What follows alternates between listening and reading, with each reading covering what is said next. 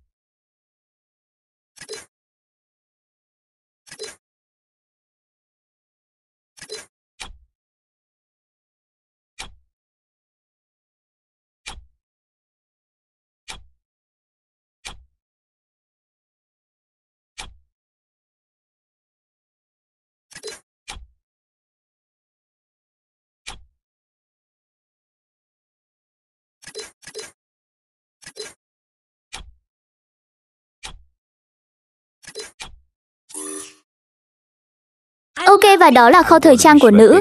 Bây giờ cho các bạn xem thời trang của nam nha. Mình sẽ nhắc vào những bộ đồ mình thấy. Đẹp mắt nha các bạn, cứ xem nha.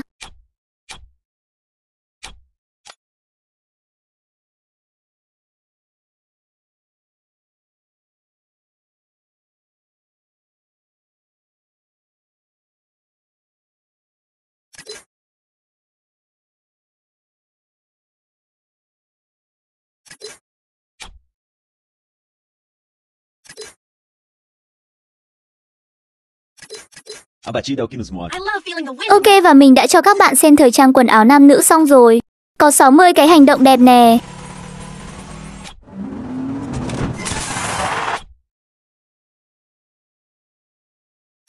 Một chuyển động gia nhập nhóm nè. 69 cái ba lâu.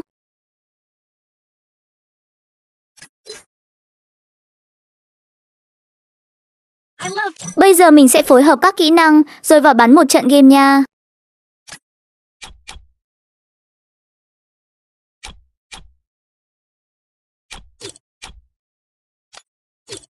À quên cho mọi người xem nhanh về kho skin vũ khí nha.